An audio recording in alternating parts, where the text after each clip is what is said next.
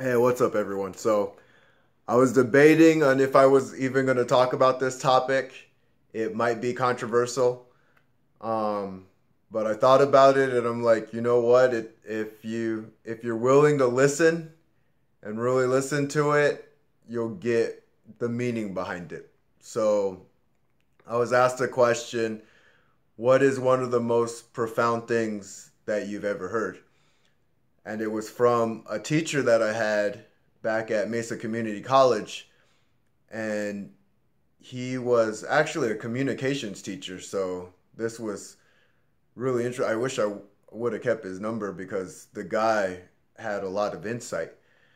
But he said that he was a recovering racist. He said it to the whole class.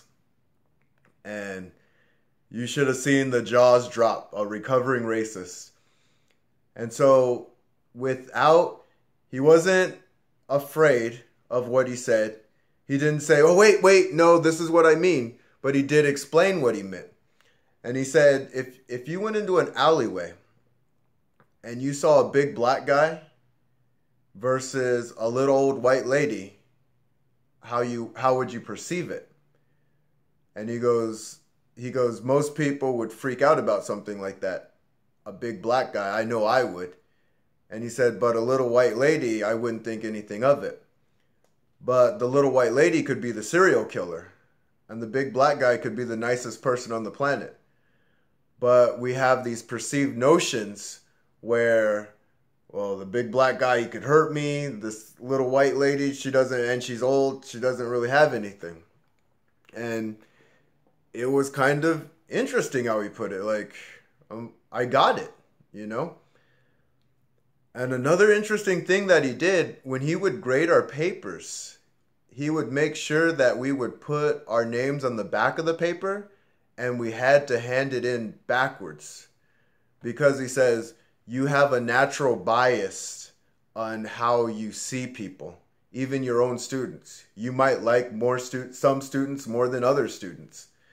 And he had mentioned that he didn't he didn't want to do that. He wanted to grade fairly. So after we would have our names, he would turn them over. He would grade them without seeing the name, and then he would uh, have us pick up our own papers.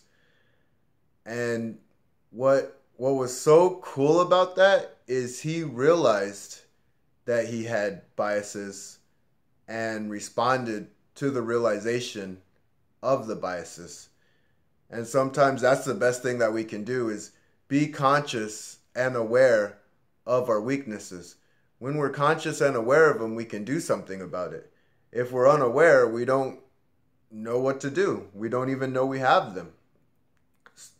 We all have weaknesses in one way or another.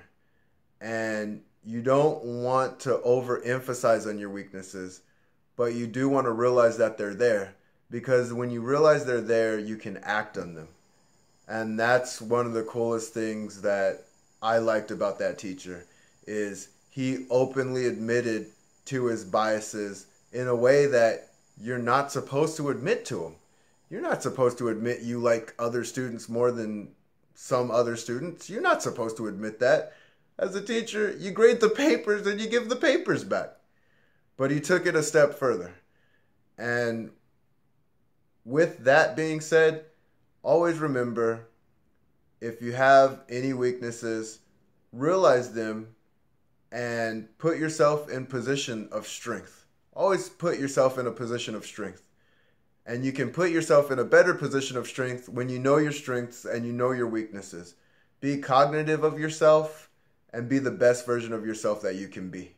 I hope you're all having a great day. Thank you.